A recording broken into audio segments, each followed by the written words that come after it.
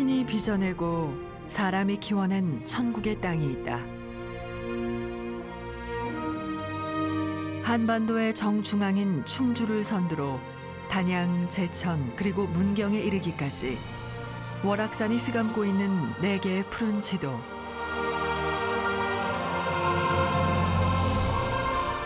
영봉의 신성함으로 굽이치고 월악산의 고귀함으로 흐르는 물길. 숲속 옹달샘처럼 육지 속 바다처럼 유유히 흘러가는 충주호 뱃길 따라 네 개의 푸른 지도를 만나러 간다.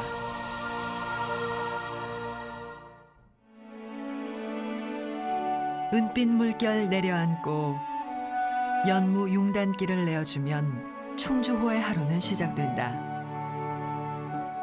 이제 황금빛 절경을 보여줄 시간이다.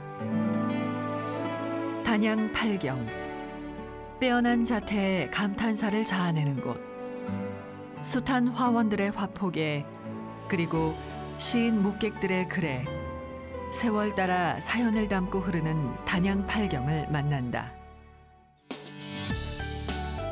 130리 충주호 백길 길손 맞으러 찾아온 배 한 척 장회나루에 멈춰선다.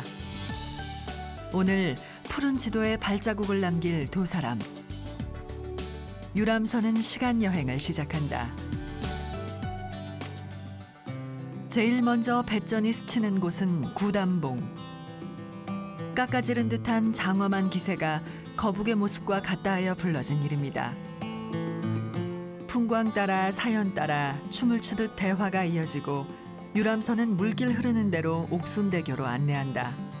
한국의 아름다운 길 백선 중 하나인 옥순대교. 그 아래로 배전이 지나면 금소산의 능선 망덕봉이 자태를 드러낸다. 잠시라도 한눈을 팔 사이 없이 끝없는 풍광을 선사하는 충주호 백길. 곧이어 충주호를 내려다보는 거북바위를 마주하고 뒤이어 단원 김홍도의 마음을 빼앗은 옥순봉의 모습이 드러난다. 잔잔한 물결 속 피어오른 절경 옥순봉. 끊임없이 뻗어가는 호반의 사연은 계속되고 은빛 물결만큼이나 빛나는 풍광이 이어진다. 고요함 속에 머무는 신선의 선경. 병풍처럼 이어지는 그 모습은 지척에 비춰진다. 하지만 머무를 시간은 없다. 충주호가 들려주는 또 다른 이야기가 기다리고 있으니까. 청풍면과 금성면을 잇는 다리 청풍대교를 지난다. 내륙 최초의 사장교로 그 위세를 펼치는 청풍대교. 그 아래로 세월이 건너간다. 그리고 다리 따라 함께 건너온 애잔한 사랑 이야기 하나가 뒤이어 따라온다. 배전은 다시 구단봉으로 향하고 물길은 여기서 끝나지만 물결처럼 잔잔하게 맴도는 사랑 이야기는 지금부터 시작된다. 장회나루 건너 퇴계 이황을 사모하던 기생 두향이의 묘가 비춰진다. 서로를 사랑했지만 이루어질 수 없던 시간. 이황은 죽기 전 두향이가 보내온 매화나무에 물을 주라는 유언을 남겼고 두향이는 이황과 거닐던 강성대에 묻어달라 유언을 남긴 채 스스로 생을 마감했다. 아직도 중령을 넘지 못한 두향이의 애잔함은 도산서원 이황 선생을 그리워하며 충주호를 떠돈다. 그리고 제비를 닮은 제비봉을 만난다. 제비봉에 오르면 충주의 모든 암봉들이 한눈에 들어온다. 제비처럼 높은 곳에서 내려다보는 충주의 세계가 다시 보인다. 물길 따라 떠돌던 이야기를 뒤로 하고 단양 팔경 사이남의 사연을 듣는다. 저쪽에 보이는 게 바로 사이남인데요. 자, 사이남. 그 귀암개석과 소나무가 만들어 놓은 장, 웅장한 그 우리 경치를 볼 수 있습니다. 이 사이남은 단양 팔경 중에 하나로 그 역동 우탁에 대한 그 이야기가 있는데요. 이 사인이란 이름이 붙게 된 이유는 역동 우탁이 사인이라는 벼슬에 있을 때 이곳에 자주 와서 예, 지냈다고 합니다. 그래서 그 성종 때 그 단양 군수로 있는 임재강이라는 군수가 그 역동 우탁을 길어서 이곳을 바로 사이남이라고 이름을 지었고요. 그뿐만 아니라 이 아름다운 풍경 때문에 많은 시인 묵객들이 이곳을 지나간 곳이에요. 그래서 어, 그 중에 가장 유명한 사람이 또 누구냐면은 그 단원 김홍도 알고 있죠? 네. 예, 단원 김홍도가 이곳에 와서 그림을 그리려고 했는데 이 경치가 너무 아름다워서 붓을 들 수가 없었어요. 그래서 10일 동안 이곳에 있다가 도저히 그림을 그리지 못하고 다시 돌아가서 1년 뒤에 이 그림, 이 사이남을 생각을 해서 그림을 그렸습니다. 그게 지금 바로 단원 화첩에 있는 사이남이라는 그 그림입니다. 기암절벽을 싸고 흐르는 물줄기 따라 풍경은 계속된다. 어, 여기는 미륵 대원지라고 하는데요. 미륵 대원지는 그 우리나라에서 유일하게 북향을 하고 있는 사찰입니다. 사찰 전체가 북향을 하고 있죠. 자, 우리 앞쪽에 큰 거북이가 보이죠? 어, 되게 크네요. 예, 바로 충주 미릉이 사지 기부라는 것입니다. 예, 거북이 모양의 비석 받침돌을 의미를 하는데요. 우리나라에서 가장 큽니다. 길이가 6m, 높이가 1.8m나 되는데 한 거북이 한 마리가 있는 게 아니라 두 마리가 더 있어요. 어, 두 마리나 더요? 예, 한번 찾아보시겠어요? 음, 아, 여기 있네요. 아, 예, 바로 여기 새끼 거북이 두 마리가 있습니다. 새끼 거북이는 이제 무엇을 의미하냐면 이곳이 이제 마이태자에 대한 전설이 내려오는데 그 마이태자가 잃어버린 나라를 되찾고자 그 힘을 모으겠다는 그 응- 응집력을 어, 의미를 하고 있습니다. 그럼 이제 올라가 볼까요? 이쪽으로. 천년의 무게를 그대로 이고 온 미륵사지 5층 석탑. 석탑은 투박하지만 묵직한 자태로 서 있고 그 뒤 일직선상으로 석등과 석불 입상이 서 있다. 모두 북쪽을 바라보며 줄지어 서 있어 긴 세월 절터를 밝혀온 석등 속에 석불 입상의 모습이 비춰지는 진풍경을 만난다. 신라의 마지막 왕자인 마의 태자 모습이라 알려진 미륵리 석불 입상.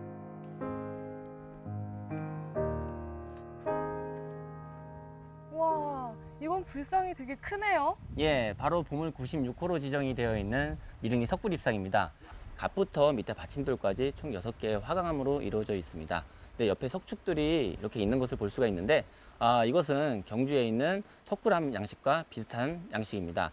석굴암 같은 경우에는 밀폐된 양식을 하고 있지만 이것은 위에 목조 건물이 있어서 그 개방된 앞쪽은 개방된 양식을 하고 있습니다. 아, 그리고 이렇게 미릉리 석불 입상을 보면 그 좀 특이한 점을 좀 발견할 수가 있는데요. 혹시 발견하셨나요? 어, 얼굴만 하얀 것 같아요. 아, 예. 얼굴이 유난히 하얗다는 게 좀 특징입니다. 아, 정확하게 그 이 왜 얼굴이 하얀지는 밝혀지지는 않았지만 아, 얼굴 부분만 지금 이끼가 없어서 그, 그렇거든요. 그 얼굴 부분은 늦게까지 해가 들고 그 다음에 위에 가시 있기 때문에 물이 들어가지 않습니다. 그래서 저희가 지금 추측하기에는 그렇기 때문에 얼굴 부분만 이끼가 없을 것으로 추측을 해서 지금 얼굴 부분만 하얀, 하얀데 아, 아직까지 정확하게 밝혀진 것이 없어서 좀 아쉬움이 남습니다. 그래서 더욱 신비스러운 예, 석불 입상이라고 좀 생각이 됩니다. 자 여기 저쪽에 움푹 들어간 마루금이 보이죠? 네. 예, 거기가 바로 하늘재란 곳입니다. 하늘재는 우리나라 문헌에 기록된 최초의 고갯길입니다. 아, 근데 왜 하늘재예요? 어, 하늘재 이름을 설명을 드리려면 지금 여서 드리는 것보다 한번 올라가서 제가 직접 설명을 드리는 게 좋을 것 같습니다. 자 그럼 한번 하늘재 쪽으로 가보실까요? 네. 자 여기가 지금 하늘재 입구입니다. 우리나라 문헌에 기록된 최초의 고갯길인데요. 네. 신라 아달라 이사금에 의해서 어, 처음으로 개통이 되었습니다. 그래서 아달라 이사금이 156년에 바로 이제 이 길을 개통을 하게 됐죠. 아, 그래서 현재 약 한 2000년의 그 세월이 지났어요.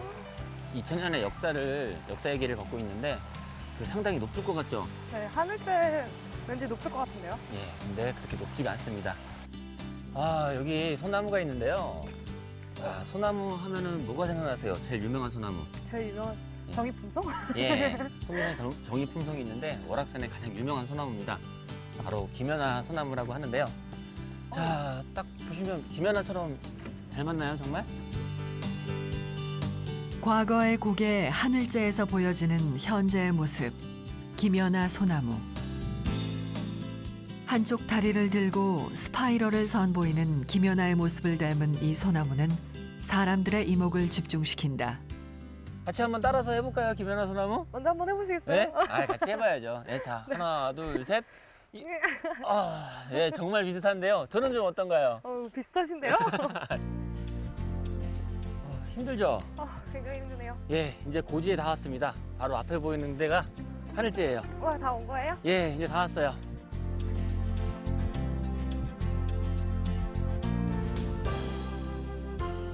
자, 여기가 바로 하늘재 정상인데요. 하늘재 정상을 중심으로 월악산 국립공원 쪽은 그 미륵리로 속하고요. 그 다음에 이쪽 문경시 관음리 쪽으로 속합니다.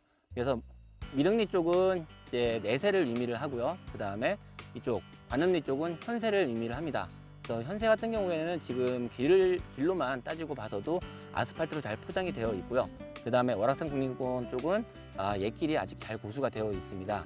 그래서 과연 어떤 길이 더 옳고 더 좋은지는 그 여러분들의 판단에 맡기도록 하겠습니다.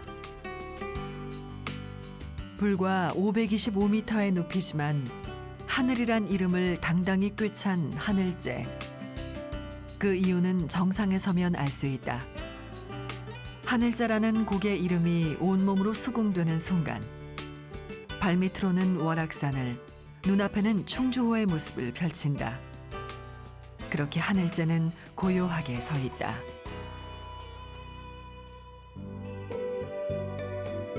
그리고 이제 하늘재 아래 오지 마을인 골매골로 향한다. 최근 명품 마을로 선정된 골매골. 자, 지금 골맥골 명품마을 입구에 와 있습니다. 예, 많은 이야기와 그 다음에 아름다운 자연, 그 다음에 주민들이 소박하게 살아가는 모습을 볼 수 있는 곳인데요. 지금 들어가시면서 여러 가지 문화재를 비롯해서 또 자연 경관, 또 아름다움을 많이 느낄 수 있는 곳입니다. 옛 이야기를 들으면서 저와 함께 골맥골 명품마을로 여행을 떠나보도록 하겠습니다. 10여 명의 주민이 지키는 청정 자연의 마을 골매골로 들어간다. 중원의 역사가 고스란히 담긴 곳곳에 문화유산이 자리 잡은 골매골. 마을 입구에서 네 마리 사자의 기세를 보여주는 석탑을 마주한다. 자, 명품 마을 입구에 있는 바로 사자 빈지 사시 석탑입니다. 보물 제94호로 지정이 되어 있고요. 아, 네 마리의 사자가 각기 다른 방향을 보고 있는 것이 특징이고 그 안에는 비로자나불상이 있습니다. 그 밑에는 시팽에 총 79자로 되어 있는 글귀가 새겨져 있는데요. 아, 그래서 현종 13년에 지어진 것을 정확히 알 수가 있어 다른 그 탑들의 연대를 추정하는데 아주 좋은 자료가 되고 있습니다. 아, 그리고 그뿐만 아니라 이 탑 같은 경우에는 그 현종 때 거란의 침입을 많이 받았는데 이 탑을 지음으로 인해서 불교의 힘으로 거란족이나 다른 왜구의 침입을 막아주십사 하는 의미로 이 탑을 축조를 했습니다. 그리고 마을을 지키고 있는 또 하나의 수호신. 이장님이 직접 깎은 장승과 솟대가 골매골을 지켜나가고 있다. 어, 안녕하세요, 이장님. 이장님. 예, 안녕하셨어요. 예. 오랜만이야. 예, 요즘 계속 씨. 바쁘시죠? 바쁘죠. 요새. 예, 아유 바쁘네 지금 뭐 하고 계세요? 아니 수설에 이제 은행도 있고 낙엽도 지저분한 거 좀 쓸고 또 요즘에 날씨가 좋으니까 이제 결실의 계절에 뭐저 수확이 될 수 있는 거 이모저모 찾아보고 있죠. 아, 예, 그래. 아유, 정말 눈꽃을 새 없이 너무 바쁘시겠어요. 그, 아이 또 뭐, 명품 마을들 이렇게 관리하시느라 너무 힘드시죠? 뭐 힘든 건 아닌데 이제 손님이 왔을 땐 조금 힘들고 또 그렇지 할때 이제 주변 이제 관리나 하고 청소하고 그러는 한번 구경 그래. 좀, 좀 해보죠. 예. 거죠. 가을 햇살이 아주 좋으네. 예. 아우, 정말. 세월 속에 사라져가던 마을 골매골. 하지만 지금은 자연과 어우러진 명품 마을로 바뀌고 있다. 황토방은 가을볕 따사로운 이야기가 전해지는 쉼터로 탄생됐고 모두 떠나고 흔적만 남은 폐교는 세미나실로 탈바꿈했다. 잊혀져가는 것들이 다시 태어나는 골매골. 여기는 그 골짜기를 따라 이야기하는 마을 하면서 근 2.7km가 계곡과 어우러져 있는 그런 길로 인해서 여기까지 이어지면은 골매골 따라 이어지는 계곡은 청량함으로 사람들을 맞이하고 유유히 흐르는 골짜기는 세월의 흐름을 대변한다. 사라질 뻔한 이야기를 전하고 그 이야기를 다시 후세에 흘려보내는 골매골에는 그렇게 다시 새 생명이 숨쉬고 사람의 발길이 찾아든다.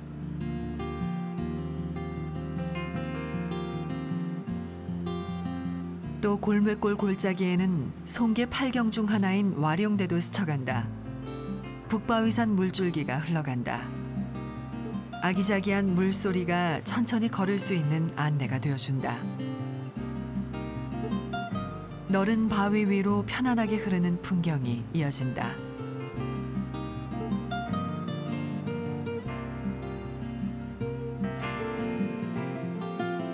그렇게 비경 따라 송계 계곡 송어 양식장을 만난다.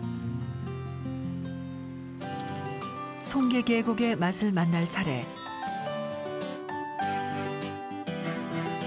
송계 계곡이 키워낸 민물고기 송어.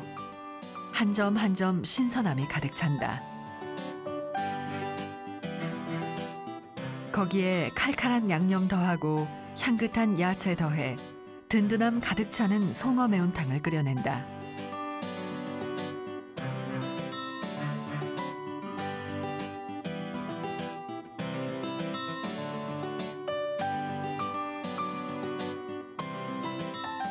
그렇게 차려지는 정갈한 한상.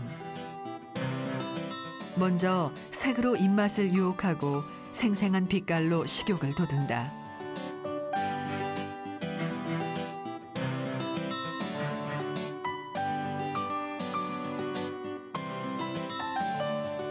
입안 가득 송어 향이 퍼진다.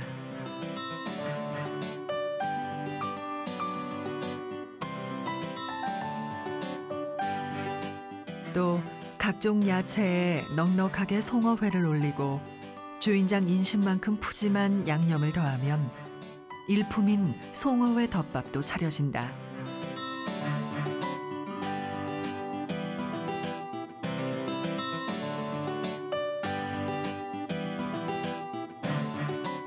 송어는 그 지방산이 매우 풍부합니다. 그 지방산이 불포화 지방산이므로 고혈압이나 동맥경화에 매우 좋다고 하며 어, 송어는 어, 붉은색을 띠고 선명하며 소나무의 그 마디와 같다고 하여 송어라고 그 전해지고 있습니다. 그리고 저희들 그 오락산 송어는 어, 무엇보다도 수질이 좋으며 어, 물이 차고 육질이 단단해서 쫄깃쫄깃한 그 맛을 어, 자랑할 수 있는 그런 송어라고 할 수 있습니다. 네 개의 시 군을 내려다보는 월악산 영봉. 바라보는 곳에 따라 때로는 거북의 모습으로 또 미륵리에서 바라보면 와불의 형상으로 그리고 충주호에서는 여인이 누운 모습으로도 비춰지는 신비의 봉우리 또한 덕산면에서 바라보면 여인의 가슴을 보는 듯한 풍광도 내비치는 월악산 영봉 월악산은 그렇게 다양한 모습을 내비친다.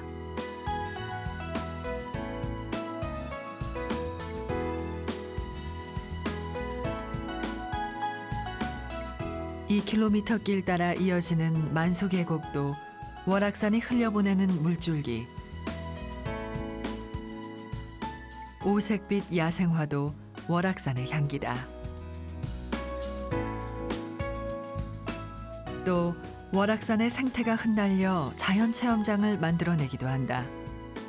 녹음을 만끽하며 자연과 하나 될 수 있는 품을 내어주는 월악산의 배려. 그 품 안에서 또 다른 작품이 만들어지고 쉬어가는 자연의 모습에서 우리네 쉼을 찾기도 한다.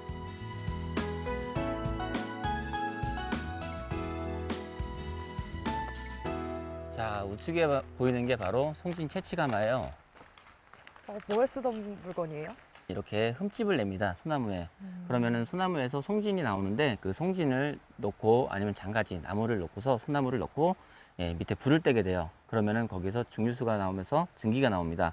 저쪽에 우측에 보이는 그 냉각수에서 냉각을 해서 그 응결되는 그 물을 갖다가 송유를 채취를 합니다. 그래서 아, 일제 강점기 시대 때 항공기 연료나 아니면은 도료, 니스 여러 가지 생활용품에 필요한 그런 재료들을 만들었던 거죠. 그리고 만수계곡에서는 삶의 아픔도 찾아볼 수 있다. V자로 깊게 패인 소나무 한 그루. 옛 시절 송진을 채취하던 소나무는 그 모습 그대로 자라나 고통의 소나무로 불리며 그 시절의 이야기를 대신하고 있다.